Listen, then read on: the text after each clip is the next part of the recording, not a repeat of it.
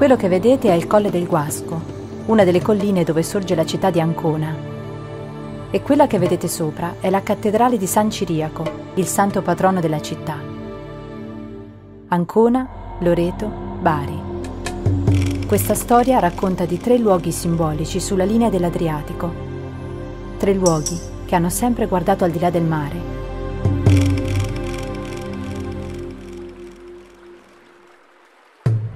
È un mare tranquillo il mare Adriatico. Un mare stretto, quasi una lingua di mare.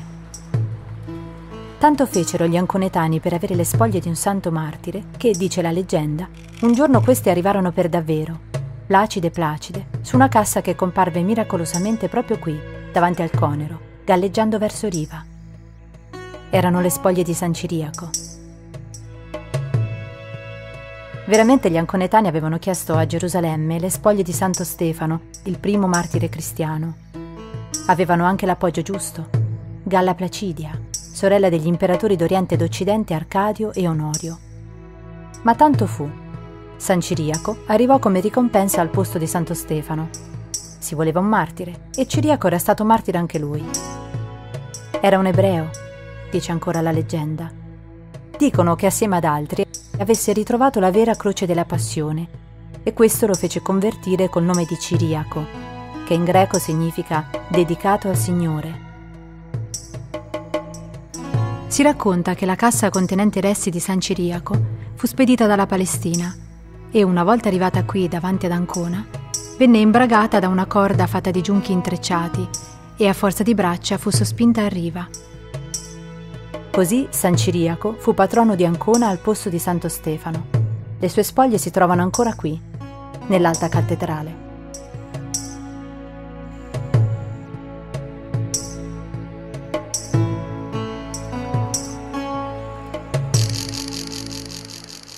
Ancona ci provò con le amicizie. Bari invece San Nicola se lo conquistò con la forza. Ma anche lui arrivò dal mare. Il santo era di Mira, nell'attuale Turchia, ma era una leggenda, un prodigio. La sua fama si era sparsa in tutto il mondo. Un miracolo soprattutto aveva colpito la fantasia degli uomini. È la storia di un uomo ricco che andò in rovina e non ebbe più la dote per le tre figlie. A quei tempi in questi casi alla donna non restava che la strada. Ma San Nicola, venutolo a sapere, per tre notti furtivamente si accostò alle finestre delle fanciulle e vi gettò dentro dei sacchetti d'oro la dote delle ragazze. Questo e altro fece San Nicola, e tutti lo volevano. Non solo Bari, ma anche Venezia, entrambe a caccia delle sue spoglie. Così, quando Mira cadde in mano turca, per prima si mosse una spedizione barese di tre navi e 62 marinai, la quale, come pianificato, sbarcò in Asia Minore, si impadronì dei resti di San Nicola e il 9 maggio 1087 fece ritorno a Bari, accolta trionfalmente. Si dice anche che là dove si fermarono i buoi che trainavano il carico d'ossa, lì fu costruita la sua chiesa. Forse non fu così, ma poco importa. Ciò che più importava era che il ratto di San Nicola aveva dato anche a Bari il suo santo patrono.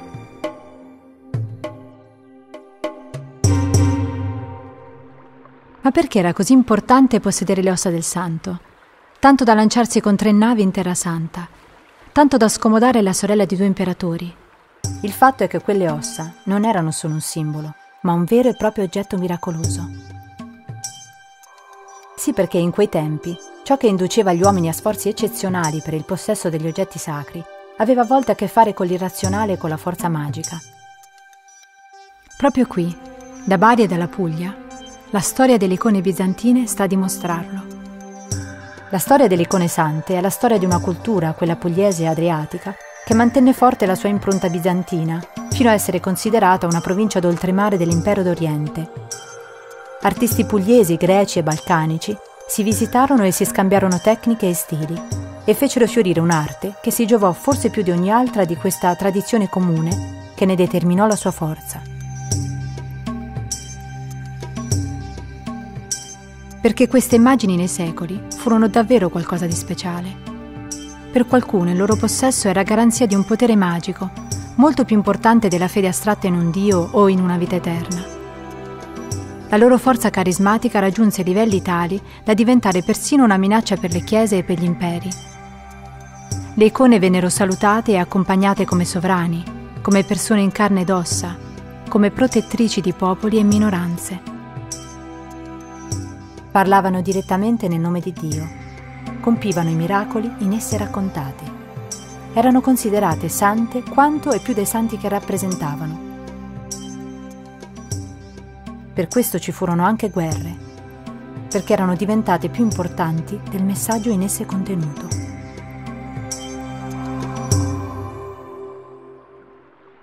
Ed è per questo motivo che ci spostiamo a Loreto, il terzo luogo di questa ricognizione.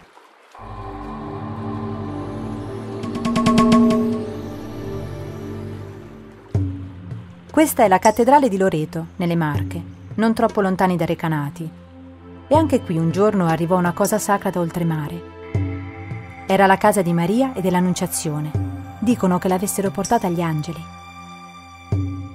Qui vicino a Recanati già da tempo si erano stabilite popolazioni di origine dalmate, gente molto devota, in particolare al culto di Maria. E tra questi emigrati ci fu anche una famiglia, i Peretti, che a Montalto diedero alla luce un figlio, Felice, che più tardi diventò papa, col nome di Sisto V. Con la casetta di Nazareth fu trovata anche una Madonna nera di tradizione orientale, un'icona di Madonna bizantina vestita di una dalmatica. La Madonna nera e la casetta dell'Annunciazione divennero presto dei simboli per la cristianità, mete di pellegrinaggio e fondamenta di un culto mariano che avrebbe travalicato ogni confine. Papa Sisto V, però, voleva controllare il culto delle immagini il senso della Vergine di Loreto, il suo simbolo, era perfetto. Riaffermava il senso profondo del dogma cattolico. Ma il culto delle immagini no. Quello andava accompagnato per evitare i pericoli dell'eresia. Perché, come dimostrava la vicenda delle icone bizantine, l'idolatria delle icone o comunque una preghiera fondata solo sulle immagini era troppo fragile. Si prestava a voli imprevedibili, a interpretazioni sfuggenti. E da questa diffidenza si sviluppò un progetto. Loreto, con la sua casa di Nazareth, era già il simbolo dell'Annunciazione. Era un pezzo di Palestina trapiantato in una terra provvidenziale. Ma perché non renderlo ancora più universale? I cristiani erano sciamati in questa terra dall'attraversamento del mare e qui avevano propagato il messaggio di Dio, come anche la famiglia di Sisto aveva attraversato quello stesso mare e aveva dato al mondo un papa perché non fare diventare una terra così simbolica un bastione ancora più forte della fede? Il simbolo di una fede liberata da ogni idolatria, radicata unicamente nel messaggio di salvezza. Fu così che Sisto V trovò nella preghiera del rosario lo strumento di cui aveva bisogno. Quale migliore sistema se non sostituire il verbo alle immagini? La parola, la forza mnemonica della parola ripetuta decine di volte, poteva certo rimpiazzare la forza carismatica delle immagini.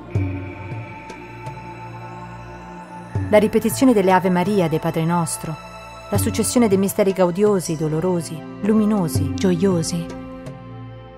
La loro sequenza quasi mantrica si rivelava uno strumento più affidabile della contemplazione dell'icona. In tempi di grandi scismi, la meditazione individuale era più controllata, incanalata dalla parola scritta dei libri sacri. E allora Loreto diventò l'epicentro della propagazione universale del rosario, strumento di riforma della preghiera e di rafforzamento della vera fede. Ma anche una potente arma, che favorì, secondo la tradizione, la vittoria dei cristiani a Lepanto Giovanni d'Austria, capo della Lega Santa, prima del ritorno a Roma guidò la sua flotta a Porto Recanati, dove si fermò per un pellegrinaggio a Loreto. E gli schiavi cristiani, liberati dalle galere turche, portarono al santuario le loro catene, che vennero fuse e diventarono le cancellate della basilica. Il rosario aveva fortificato i soldati cristiani e con la sua forza li aveva resi invincibili. E il santuario di Loreto, votato al dogma della Vergine, diventò il luogo principe dell'offensiva di Sisto V contro ogni tipo di eresia.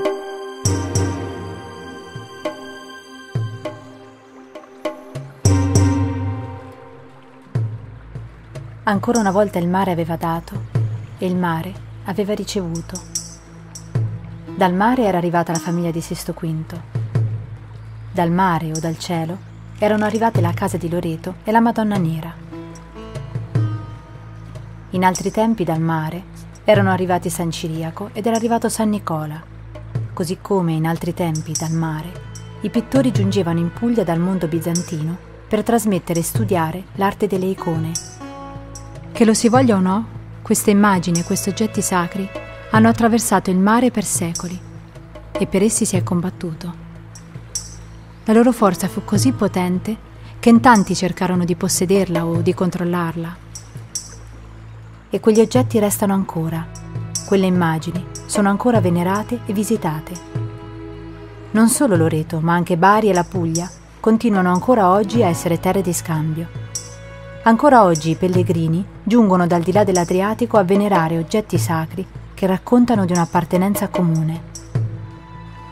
Perché l'Adriatico non fu solo Lepanto, non fu solo un luogo di lotte religiose e di civiltà.